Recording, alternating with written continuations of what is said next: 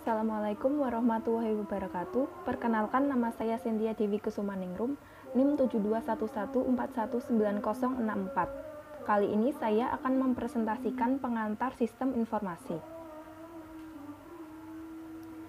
Yang pertama yaitu sejarah sistem informasi.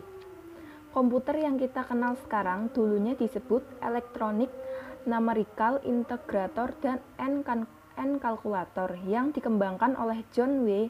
Mackley dan J. Presper Eckert pada tahun 1946. Komputer-komputer terdahulu yang disebut mainframe memfokuskan pada satu tugas tunggal yang diminati oleh seorang pengguna. Hingga pada tahun 1960-an, IBM telah memperkenalkan lini komputer baru yaitu IBM System 360. Komputer ini adalah komputer pertama yang melakukan berbagai tugas yang diminati oleh beberapa orang pengguna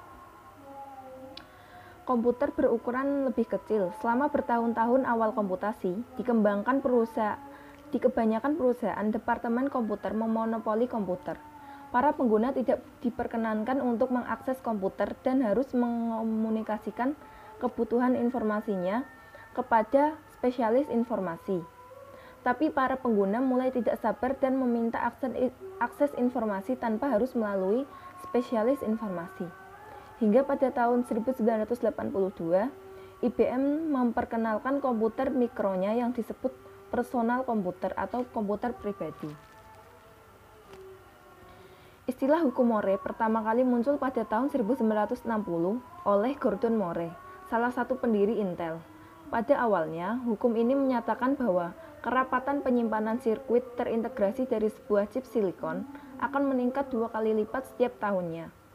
Arti hukum ini bagi para pengguna adalah bahwa kekuatan sebuah komputer akan meningkat dua kali lipat setiap 18 bulan dengan mengeluarkan sejumlah biaya tertentu. Pengantar arsitektur komputer Komputer mainframe terbesar dan personal kom komputer yang kita miliki memiliki arsitektur yang serupa. Peranti keras komputer akan dikendalikan oleh sistem operasi. Peranti lunak aplikasi menjalankan tugas-tugas bagi pengguna. Inti dari sebuah komputer adalah prosesornya. Prosesor yang dikendalikan oleh sebuah sistem operasi seperti Windows XP mengelola alat-alat input dan output, alat penyimpanan data dan operasi atas data. Ketika dipergunakan bersama-sama dengan keyboard, monitor, mouse, dan printer, komputer mikro akan dapat dipergunakan untuk mendukung pengambilan keputusan manajerial. Pengantar arsitektur komunikasi komunikasi antar komputer dibatasi oleh adanya fakta diprioritaskannya komunikasi telepon antar manusia.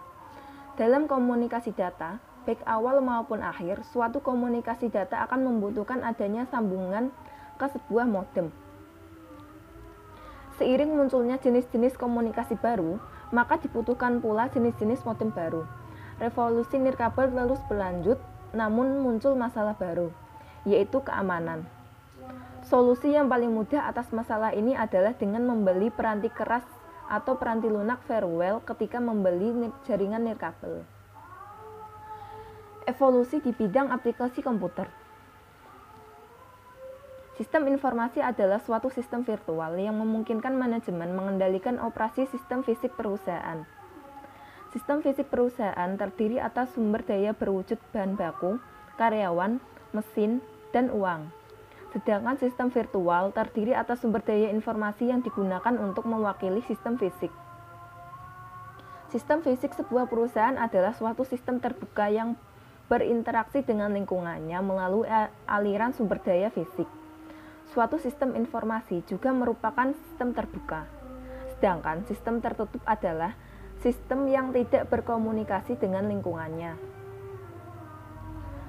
Sistem pemrosesan transaksi Sistem berbasis komputer yang pertama disebut sistem pemrosesan data elektronik atau electronic data processing processing processing system. Yaitu berikut adalah model dari sistem pemrosesan transaksi yaitu input, transformasi, dan output dari sistem perusahaan berada di bagian bawah. Data dikumpulkan dari semua sistem fisik dan lingkungan lalu dimasukkan ke dalam basis data. Peranti lunak pemrosesan data mengubah data menjadi informasi bagi manajemen perusahaan dan bagi individu individu dan organisasi-organisasi di dalam lingkungan perusahaan. Sistem informasi manajemen. Sistem informasi manajemen adalah suatu sistem berbasis komputer yang membuat informasi tersedia bagi para pengguna yang memiliki kebutuhan serupa. Sistem informasi Informasi yang diberikan oleh SIM menjelaskan perusahaan atau atau satu sistem utamanya dilihat dari apa yang terjadi di masa lalu, apa yang sedang terjadi, dan apa yang kemungkinan akan terjadi di masa depan. Dua jenis peranti lunak SIM yaitu peranti lunak pembuat laporan yang menghasilkan laporan berkala maupun laporan khusus. Kedua yaitu model matematika yang menghasilkan informasi sebagai jenis hasil dari suatu simulasi atas operasi perusahaan. Sistem kantor vir virtual. Otomatisasi komputer otomatisasi kantor yaitu penggunaan alat elektronik untuk memfasilitasi komunikasi yang meliputi surat surat elektronik, surat suara, kalender elektronik, dan konferensi audio dan lain sebagainya. Sekarang ini, manajer menggunakan teknologi untuk melakukan pengelolaan terdiri atas bagian tugas-tugas administratif, kemampuan aplikasi, dan otomatisasi kantor yang dapat dilakukan di mana saja telah melahirkan konsep kantor virtual, yaitu melakukan aktivitas kantor tanpa bergantung pada suatu lokasi fisik tertentu. Contohnya adalah konferensi video tanpa hadir dalam suatu tempat. Sistem pendukung pengambilan keputusan. Istilah sistem pendukung, pengam, pendukung pengambilan keputusan dicetuskan oleh G. Anthony Gori dan Mi Michael S. Scott Morton. Sistem pendukung pengambilan keputusan adalah suatu sistem yang membantu seorang manajer atau sekelompok kecil manajer memecahkan suatu masalah. Tambahan terakhir pada DSS meliputi kecerdasan buatan dan pemrosesan analisis. Kecerdasan buatan terdapat dalam DSS melalui bentuk basis pengetahuan akan informasi mengenai suatu area masalah dan suatu mesin deduksi yang dapat menganalisis isi dan basis dari basis pengetahuan. Sistem perancangan sumber daya perusahaan. Sistem perencanaan sumber daya perusahaan adalah sistem berbasis komputer yang memungkinkan manajemen sumber daya perusahaan dalam basis keseluruhan organisasi. Peranti lunak ERP tidak dipasarkan setelah dipasarkan setelah memenuhi persyaratan Y2K. Industri ERP tidak hanya terdiri atas penjual ERP. Suatu sistem ERP membutuhkan adanya komitmen keuangan yang sangat besar dari organisasi. Manajer sebagai pengguna sistem informasi. Pengguna pertama output komputer adalah para karyawan administrasi bidang akuntansi.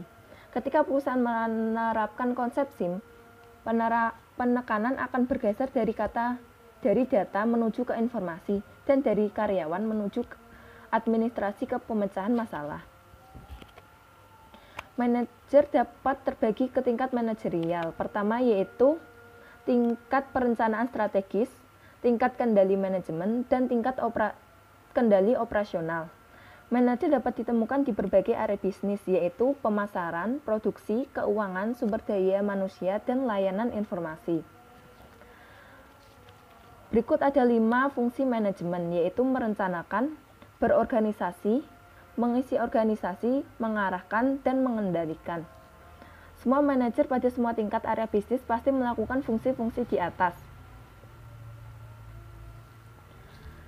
Peranan manajerial menurut Henry Midberg yaitu sebagai tokoh utama, pemimpin, sebagai penghubung, pemantau, penyebar, sebagai juru bicara, kewirausahaan, penyelesai masalah, pengalokasian sumber daya, dan sebagai negosiator. Peranan informasi dalam pemecahan masalah dan man masalah manajemen. Hasil dari aktivitas pemecahan masalah adalah solusi. Selama proses pemecahan masalah, manajer akan terlibat dalam pengambilan keputusan, yaitu tindakan memilih dari berbagai alternatif tindakan. Tahapan-tahapan pemecahan masalah yaitu aktivitas intelijen, aktivitas perancangan, aktivitas pemilihan, dan aktivitas peninjauan.